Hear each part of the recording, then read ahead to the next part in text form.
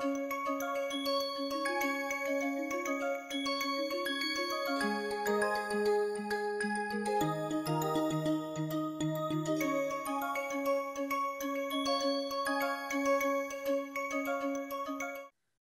everyone. Welcome to NPTEL course on Rural Water Resource Management. This is week 9, lecture 5. In this week's lecture, we have been looking at methods for engineered use of structures to manage water resources we looked at surface water body structures and groundwater structures. And in the last lecture, which is lecture four, we looked at methods that can help for groundwater recharge. And we mentioned that it is not just groundwater recharge. You will be capturing surface water and then putting it into the ground. So there is some surface water hydrology happening and there is some surface water management activities. Along with that, there is groundwater. All of these methods that I discussed have an engineering component, which means either you have to construct something, channelize something, or capture and recharge using techniques. The capturing part is where engineering would be used by rooftop uh, harvesting or channelizing water into a particular ditch for groundwater recharge.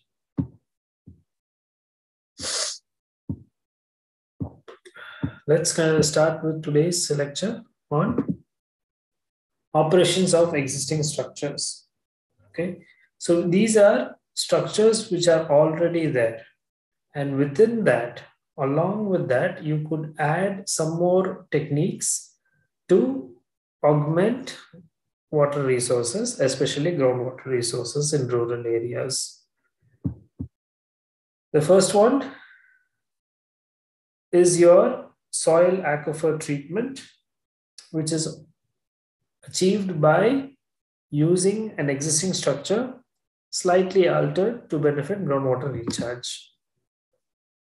A wet cycle in sewage treatment plants can aid groundwater recharge. So you know that in sewage treatment plant, sewage is collected and then multiple treatment is done. Okay.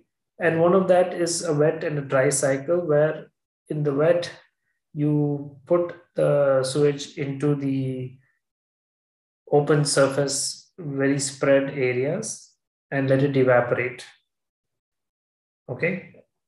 Dry cycle is what you do with the evaporate or remaining behind. But the wet, the water part, some of it can recharge into the groundwater and your soil acts as the treatment material here or the filter material wherein the space this space between the structure and the aquifer acts like a filtrate where it filters all the bad things and just the water goes in. This is what nature has been doing forever, right? You could see that the groundwater is at a better quality compared to the surface water pollutants because your soil particles act as a filtrate by taking off or holding on to the pollutants and just the water comes down. Then we also have deep bore logs or abandoned deep wells, which can be used as groundwater recharge mechanisms. Let's take an example. You have a village, and in the village, there is a rural dug well. The dug well is not working anymore, which means there is no water that is um, coming in the dug well. So, what can you do? You could channelize the runoff into the dug well, thereby the dug well now acts like a tank by storing the surface runoff into the dug well. And if you let it to settle, all the impurities, the sediments will settle at the bottom and the water is more clear on the top. So you could access it for domestic use or even for agriculture. Some tests can be done to see what the water has impurities, but at least for agriculture, you could use. Domestic and livelihood options might be um, after test, but you can use it for uh, agriculture, cattle, livestock feeding, those kind of things. An underground dam is nothing but you have a slope and the water table would eventually flow as you know because it flows from high potential to low potential. But you could put an engineering boundary in between the high elevation so that the water table doesn't flow. Let's look for example. You know that this is the water table and the water would flow like this. However this is under the ground so this is ground level on the top okay. And in the in the ground you notice that there is a bedrock which goes like this which means it is not straight but some undulations. What you could do is you could drill down and then close this boundary so that all the water recharge under the ground will just remain here. It will not pass and then come down. this material is supposed to be an impervious material where water cannot pass. So all the recharge which is happening on one side will just go into the ground and stay inside the ground. What the author claims here is happening is you have an impervious layer, but also you have a well. In that well where you could pump this water out and use it for agriculture or any other use, domestic supply. This is called an underground dam.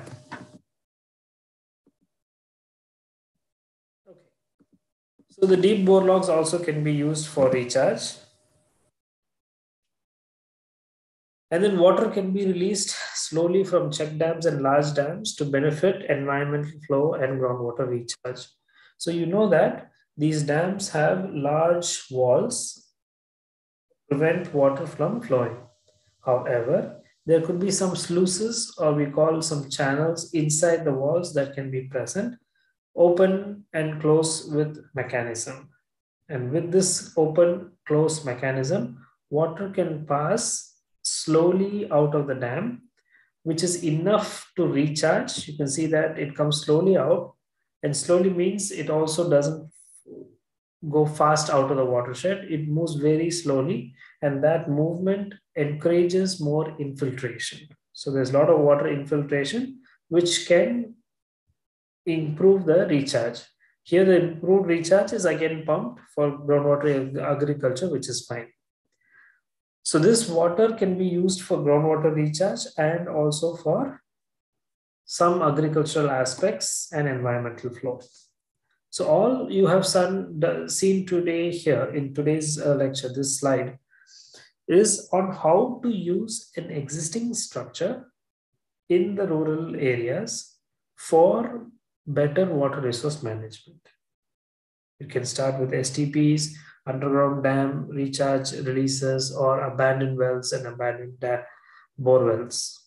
A lot of exercises have been seen. For example, in some villages, tankers are given for uh, water, domestic drinking water for the villagers by some NGOs or by some philanthropy CSR uh, agencies but they don't have a tank. Where will you store the water? For example, in cities, you can buy water in a tank, put it in the sump. Underground, you have a, a tank or an overhead tank, and then whenever you need water, you can use it. But that is not the same in villages. Villages do not have that luxury, they don't have the money. So, what you could do is clean uh, an abandoned well and you could use that well for storing. But you have to make sure that the water doesn't flush inside the aquifer. Maybe some lining, some cement lining can be done on the sides to prevent water from flushing down into the deep aquifer, thereby causing loss. I want to reassess this point. No one size fits all approach see if one approach is good then the book can only talk about one approach let's say um, check dams they could just say oh check dams is the best don't do anything else just keep on building check dam and you will be happy. They don't do that. They give you multiple methods, at least 10, 15 we have seen. Why? Because every location might be different.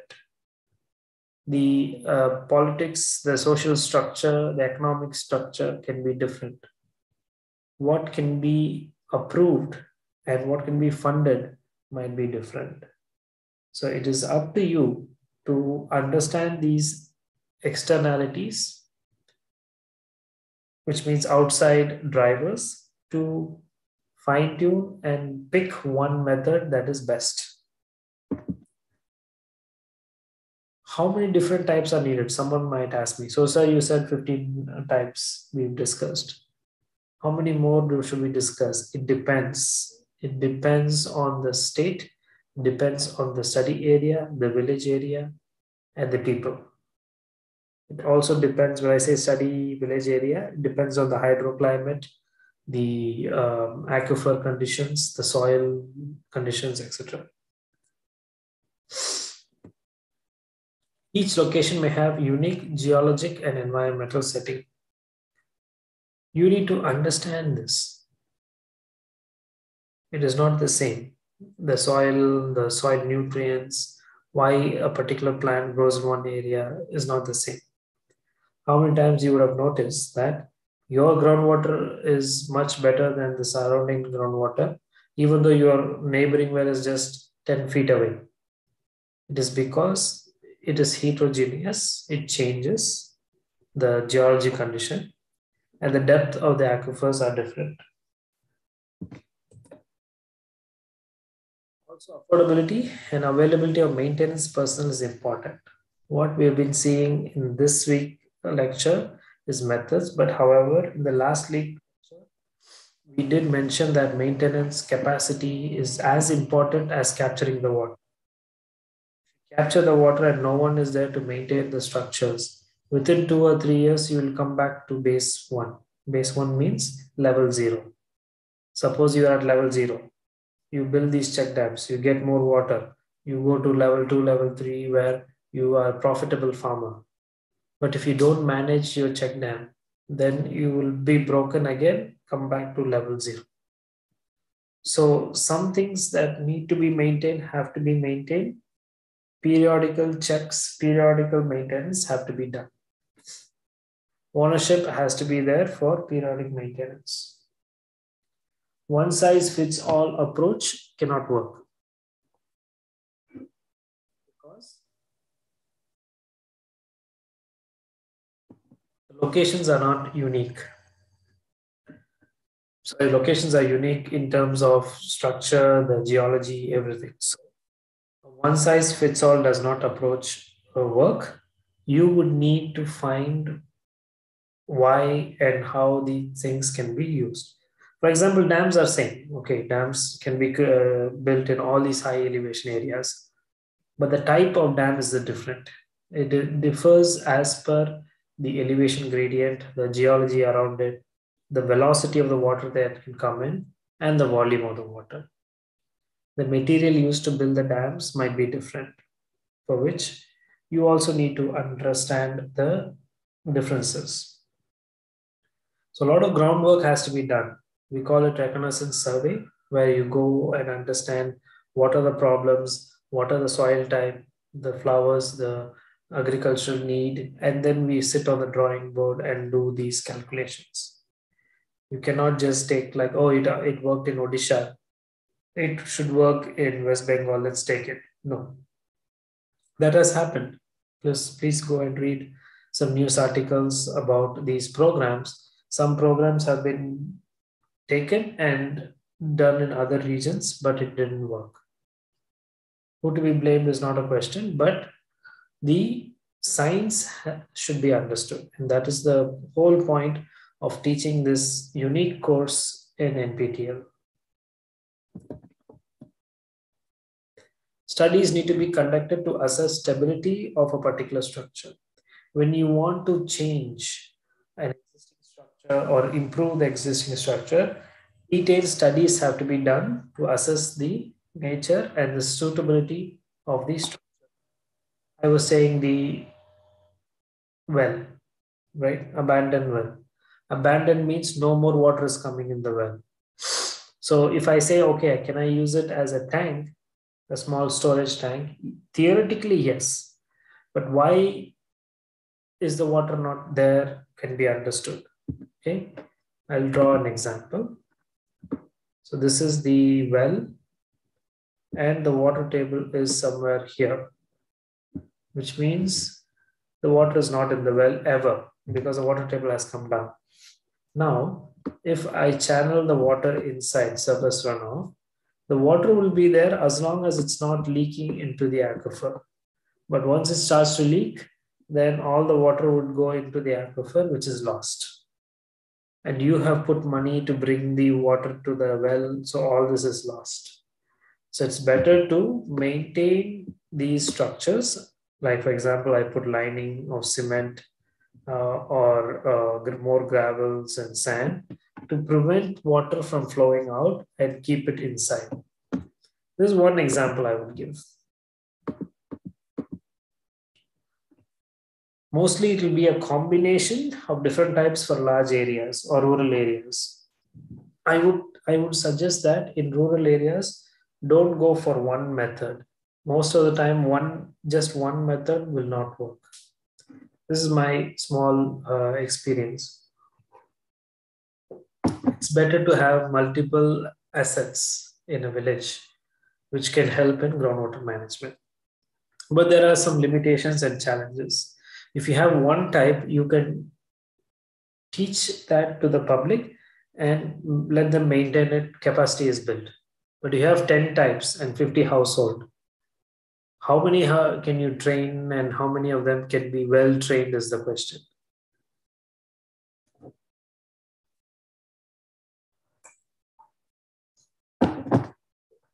So think about the plans, the budget, the uh, number of types needed and the maintenance also. Now, as I promised, I will discuss this comparative study between using a particular engineered method for enhancing the groundwater recharge and also reducing the floods. Okay. So this study was by Khan et al. in 2015. Read the paper. It's a very interesting paper where they show the current irrigation system. So in the current irrigation system, you have water coming. There is a dam. And then from the dam, there is channels. You see the channels are light blue in color. The river network is dark blue in color. And this is also a channel, different channel. So what do you see in this dam? There is water and between these two water bodies, there's a connection and then there is a channel down, etc and the yellows are groundwater pumps okay where they pump water and you could see that is why the water table goes down at this yellow point. It's a cross sectional view here. This this part is a cross sectional view. This is a top view. You're looking from the top. Okay? Okay so now you could see that the groundwater is being pumped so the water table is going down here same thing should happen here and here, all these wells. You cannot see it because the cross section is not there. Only for these two wells, the cross section is there.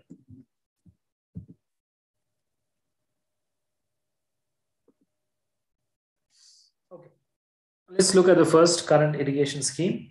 You have water coming, you have a dam, and the dam releases water in the canals, and then there is recharge happening assuming the canals are not lined.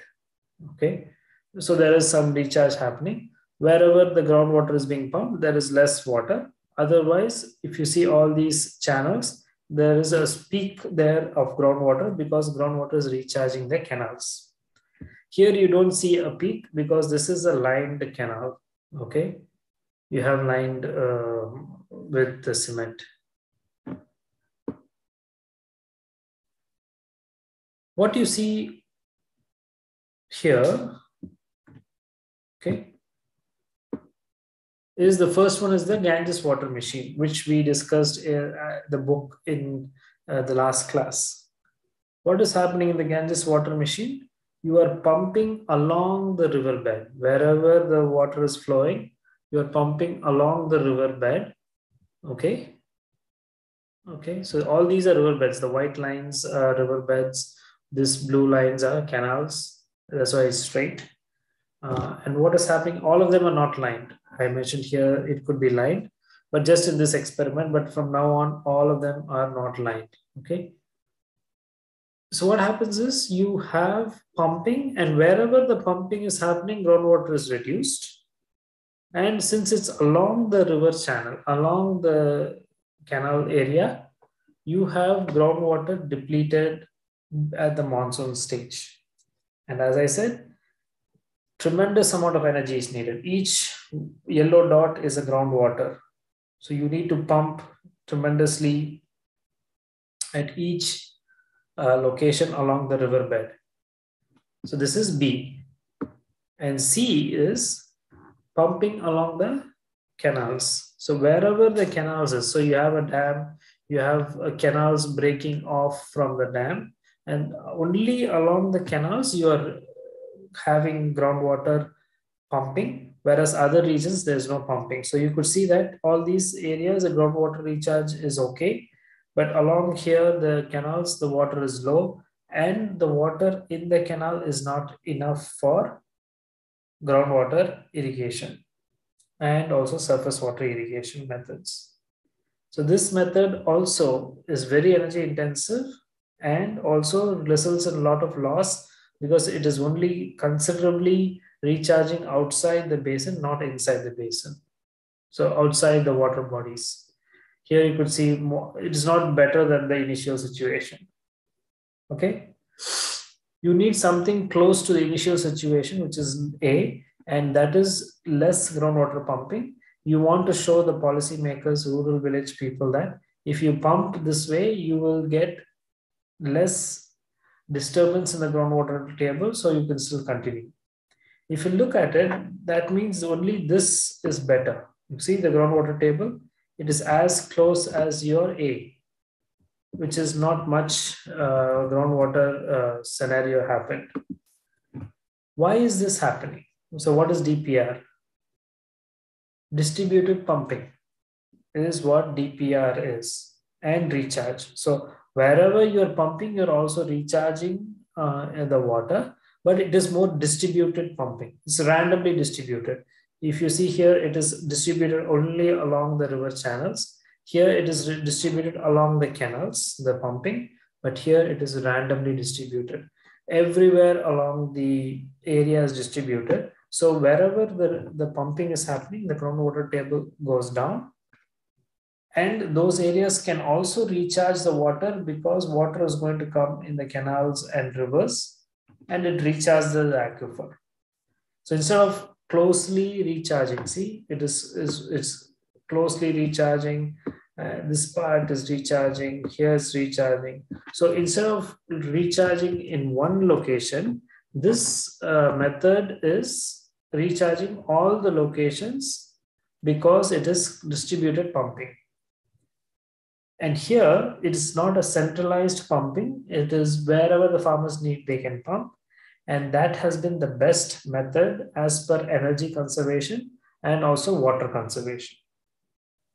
E, which is distributed pumping and recharge, is the best groundwater plus surface water method uh, storage method, conservation method in this village, which has dams, uh, river, canals, etc.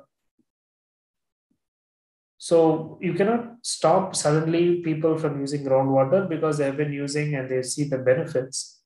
But now the, the depletion is too much that you cannot continue as is. You have to do some difference in attitudes. And that is what we are discussing today.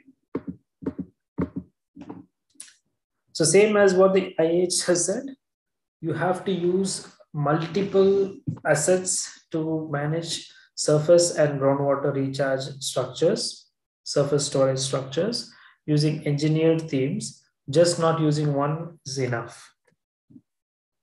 So what is the future needs?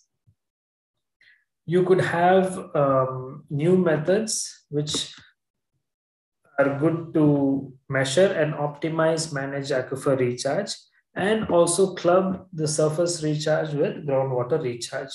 That is what is happening here. This is your surface water. You take the water for treatment and then put it in a recharge basin, surface water body. Uh, and some part of the water is recharged. You can see here it's recharging. Some water can go back into the groundwater aquifer, deep aquifer by injection. And also you could uh, pump uh, a lot along the rivers. So you see the previous example, you can pump near the river very, very high so that the river water can go into the well and then into the surface body. These exercises show that you have to be cautious about pumping along these rivers and channels and use only how much is needed for the rural water supply. If you overdo it, then there is a potential loss of uh, the water for all the users. So let's recap week nine. Rural water resources uh, management infrastructure have been discussed and only the engineered parts in the engineered, we looked at surface water and groundwater. And in the groundwater, we looked at artificial recharge methods, managed aquifer recharge, uh, which can be divided as direct and indirect. Dams and canal systems were looked at in the surface water structure system. Uh, check dams and lift irrigation were discussed. How small check dams, decentralized versus centralized was discussed. Uh, the decentralized approach is the check dams, whereas centralized approach is the large dams. The Ganges water machine was discussed uh, to see if it is a potential method that can be used. Still, it is being tested and a lot of books have been written. Groundwater recharge shafts in the UTFI and deep groundwater recharge methods have been discussed and looked upon. And finally, we looked at different MAR structures, managed aquifer recharge structures. The ways forward is to use multiple methods, different assets in one location. Make sure that the um, changes done to it uh, reflect the need, not just you have the money and so you could change the structure. It has to have the need. And we also have to look at the uh, ways forward in monitoring and measuring these MARs because there is no one size fits all approach. And if we monitor and share the data, we can let others understand why this is happening and will it happen, will the benefits happen in every location. Most probably it can happen if the other externalities are arrested. For example, leakages, losses of water, etc. are taken care of. And the final thing we looked at is the community participation is key. Uh, a community as a whole can take part in all these water body actions, uh, water body conservation uh, methods and um, schemes. If they don't, then the NGOs and government will do it, but they will leave after some time. And when they leave, most of these schemes collapse. So it is best for rural people to be trained in these kind of methods and they take care of these small community projects. With this, I would like to conclude week nine. I will see you in week 10. Thank you.